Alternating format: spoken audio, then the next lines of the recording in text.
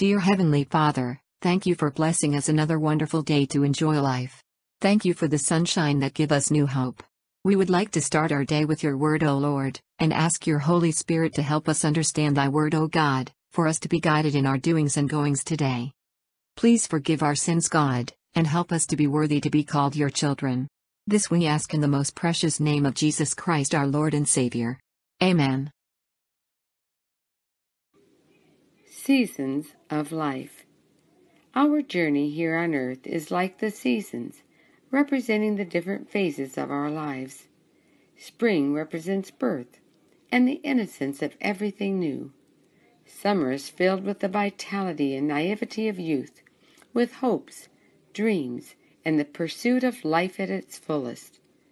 Then it seems we quietly slip into fall, with confidence from lessons learned, knowledge to approach challenges more realistically, and feeling a sense of urgency to accomplish our goals.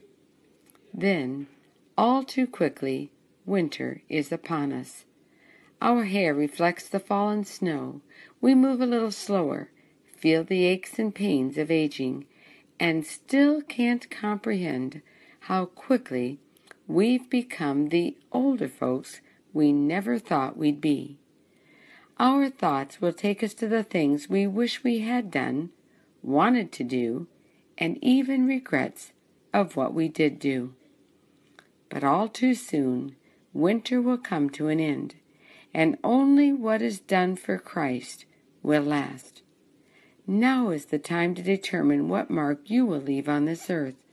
For whatever you want to accomplish in life, do quickly. Don't put off until tomorrow what you can do today.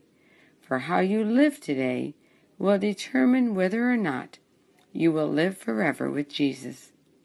Choose to live a godly life, sowing seeds of kindness and sharing God's love in every season, so that you'll be prepared for eternal life in heaven.